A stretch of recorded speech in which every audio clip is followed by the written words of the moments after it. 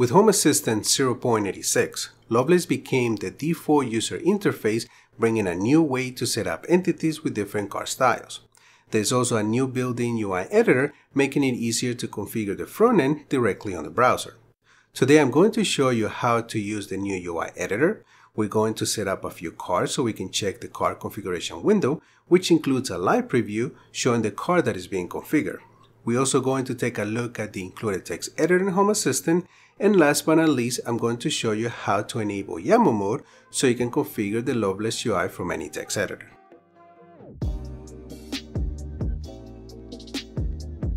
Whether you just install Home Assistant or upgrade it to the latest version, all entities are set up automatically within cards. Also by default, Home Assistant will maintain the user interface, updating it with new entities whenever new ones becomes available. The default setup looks just like the previous user interface. The reason for that is because all entities are set up using the entities card, which is the style that we're used to. However, you can take control and manually configure all the cards and use all other available card styles. Just have in mind that if you take control, Home Assistant won't automatically add new entities to the front end. You will have to manually add them into cards. To access the UI editor, click on the More Options icon at the top right corner of the window, and then click on Configure UI. There are several editing options that you can use. At the bottom of each card, there's a new row with the options to edit the card, move it up and down, move it to another view, or delete it. In addition to that, you can also change the default Home Assistant title, add new views, and also add new cards. At the time of this video, there are a total 24 card styles available for Lovelace. Because the Lovelace UI editor is relatively new, not all card styles have a simple interface where you can easily configure all the settings. For some card styles, you will only be presented with a regular text editor for you to manually configure them using YAML. However, this is something that continues to be worked on and on almost every update that is done to Home Assistant, the UI editor is improved. Let's take a look at a couple of cards that have been already updated to have a simple interface. The first one will be the Entity button, with this card, you can easily select the entity that you would like to set up from a dropdown. Change the default name, the icon, and also the theme for the card.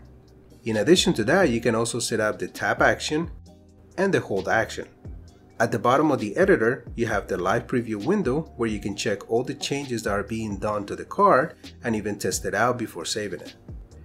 If you want to configure the card using YAML, you can click on Toggle Editor to switch between the UI editor and the text editor. The live preview is also available while using the text editor so you can still see the changes before saving the card. In fact, this is how the card configuration looks like for the cards that don't have a simple interface yet. The next card that we're going to look at is the glance card, which allows editing multiple entities one next to the other, minimizing the overall size of the card. Because the card has already been updated to work with the UI editor, you can easily select the entities from a dropdown. Also set up a title for the card, change the theme, specify the number of columns that you want per row, and even choose if you want to show the name or the state for the entities. At the bottom you also have the live preview window and the option to toggle between the UI editor and the text editor. Now, what if you want to set up a custom card, like for example the Mini Media Player, which is a popular custom card for Lovelace? Well, you can use the manual card, which allows configuring any custom card using the text editor. And like on the other cards, you also have access to the live preview window so you can check the configuration before you save the card. If you want to check out the Mini Media Player card, you can find a link in the description. Next, let's talk about views, which are tabs in Home Assistant. To add a new view, you can click on the plus icon at the top, then inside the view configuration, you can set up a title or an icon that will represent the view. If you set up both, you will only see the title for the view when you hover over the icon. By default, views are shown in the URL path as a number, so the main view is set up to 0 and the second one to 1 and so on. But if you want to set up a name in the URL path, which I usually set up the same name as the title, it would now show that name instead of the number in the URL path.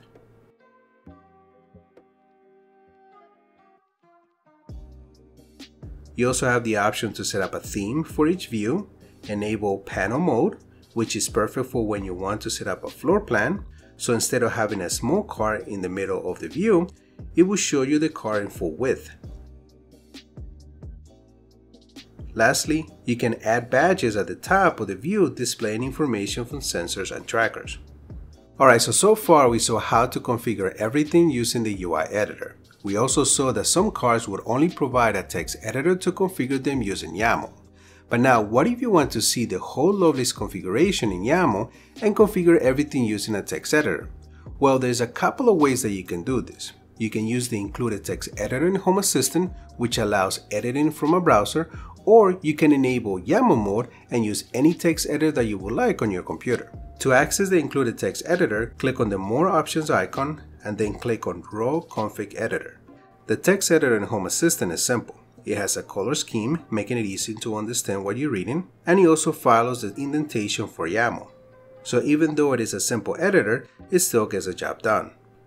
Now, to use any text editor on your computer, you will need to enter the following in the configuration.yaml file.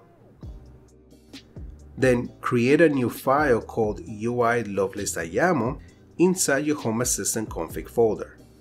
After that, restart Home Assistant and then you can start editing the front end using whatever text editor you want to use in your computer.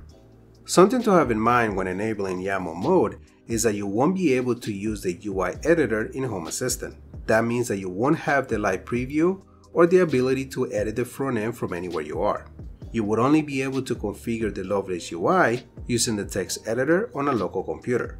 But at the same time, you have the advantage that you can use a better editor with a lot more features than the one included in Home Assistant. If you would like to learn more about how to edit the Lovelace UI using a text editor, check out a few videos that I have on my channel. One shows how to set up different card styles in Lovelace, and the other one shows how to set up a floor plan. You can find the links in the description below. Also remember that everything that I show you in this video will be posted on a written guide on my website, so definitely check it out. You can also find the link down below. If you guys like this video, give it a thumbs up. Don't forget to subscribe to the channel if you haven't done so already, and I will see you in the next video.